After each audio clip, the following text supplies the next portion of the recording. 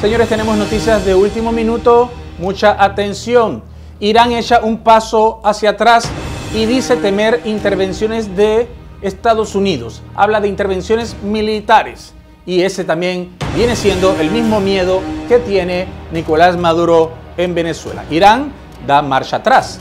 Ha dicho que Estados Unidos con sus intervenciones son la causa de la inestabilidad e inseguridad que hay en su región.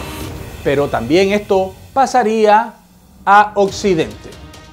¿Por qué? Porque el canciller de Irán, Muhammad Javad Zarif, responsabilizó a las intervenciones militares de Estados Unidos con la inestabilidad e inseguridad. Y dicen que si esto se mueve a la región de Venezuela, también va a haber inseguridad en Occidente. Pero estas inestabilidades las está creando en realmente Irán, quienes han amenazado a los Estados Unidos con una revancha. Y estas inestabilidades van a ser enviadas a la región de Venezuela, lo cual también será un problema, debido a que Irán anticipa que estará entregando o gasolina a Venezuela o armas al régimen de Nicolás Maduro.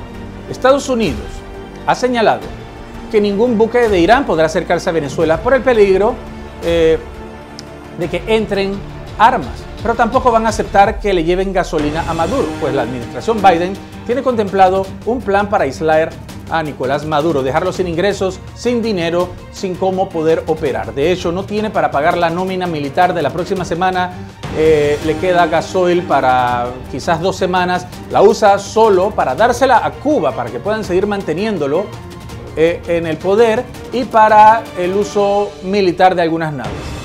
En el segundo foro de diálogo de Teherán, Zarif, el canciller dijo que las largas y peligrosas intervenciones de los Estados Unidos son las causas de los problemas que existen en la región. Él está dispuesto como a un diálogo.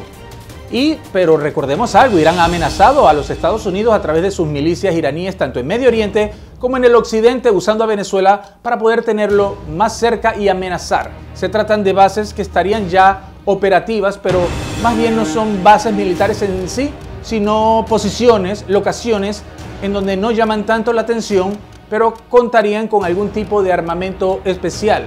Mientras tanto, Estados Unidos continúa vigilando a Maduro y a Irán. Según Irán, Washington ha intensificado esta inseguridad en la zona, pero por supuesto, eh, desde la administración pasada eh, de Donald Trump. Y dice que ellos quieren estar financiando conflictos interminables. Y pensaban que Joe Biden no iba a actuar de la misma manera no ven diferencia entre Donald Trump y el recién instalado Joe Biden, que nada hizo por eliminar la política de máxima presión, tanto contra Irán, contra Venezuela y cualquier otro país que esté aliada con ellos. Y es que ambos países están sancionados por los Estados Unidos y se han vuelto países peligrosos para la seguridad. Continúan con las presiones en los países que son aliados de Irán, como la Venezuela eh, de Nicolás Maduro, ya se ha dicho que habría una conversación entre Estados Unidos e Irán y otros aliados de Nicolás Maduro y se va a tocar el tema de las milicias que hay en Venezuela y el apoyo que Irán le da a Maduro. Y si se logran las conversaciones estas, Maduro quedaría sin apoyo, sin nada, algo que ya prevé el régimen cubano como el mismo Nicolás Maduro. Dicho eso, Estados Unidos continúa con la oferta de que Maduro debe firmar una carta de rendición para lograr elecciones libres algo que Irán podría aceptar, porque piénsenlo bien, Irán solo quiere que le quiten algunas sanciones y ellos no necesitan nada de Venezuela.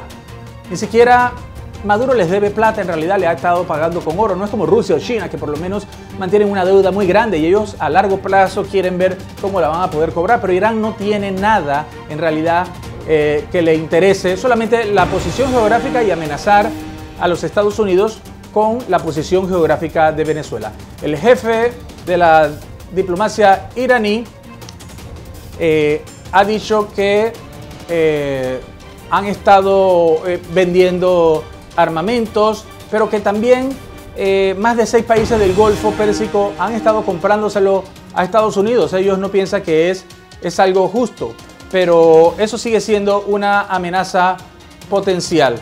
Pero la prioridad en todo esto es eh, reemplazar estas fuerzas y conflictos con diálogo y diplomacia. Básicamente Irán está rindiéndose y si es así, aceptar un acuerdo para dejar de ayudar a Nicolás Maduro sería una cosa muy fácil. ¿Pasará eso? Díganos, ¿usted qué opina? Déjanos tus comentarios y recuerda suscribirte a nuestro canal